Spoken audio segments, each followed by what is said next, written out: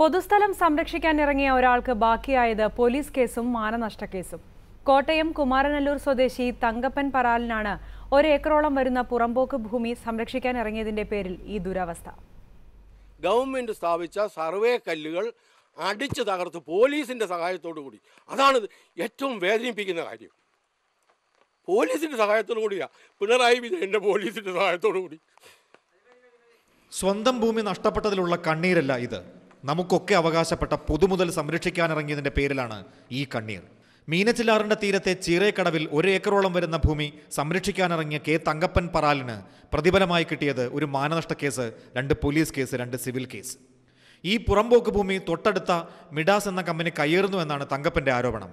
ഉദ്യോഗസ്ഥർ ശ്രദ്ധിക്കാതിരുന്ന ഈ ഭൂമി തങ്കപ്പന്റെ ഇടപെടലിനെ തുടർന്ന് പുറമ്പോക്കാണെന്ന് സമ്മതിക്കേണ്ടി വന്നു. ഈ ഗവൺമെന്റ് വന്നതിന് ശേഷം പിണറായി ഗവൺമെന്റ് അധികാരത്തിൽ വന്നതിന് ശേഷം ഇരുപത്തിമൂന്ന് എട്ട് ഓഗസ്റ്റ് ഇരുപത്തി മൂന്നാം തീയതി കഴിഞ്ഞ ഓഗസ്റ്റ് ഇരുപ ഇരുപത്തിമൂന്ന് എട്ട് പതിനാറിൽ അവിടുന്ന് സർവേ നാൾ വന്നു. മുനിസിപ്പൽ കൗൺസിലറുടെ സാന്നിധ്യത്തിൽ അദ്ദേഹം ഒരുപാട് ശ്രമിച്ചതിന് വേണ്ടിയിട്ട്.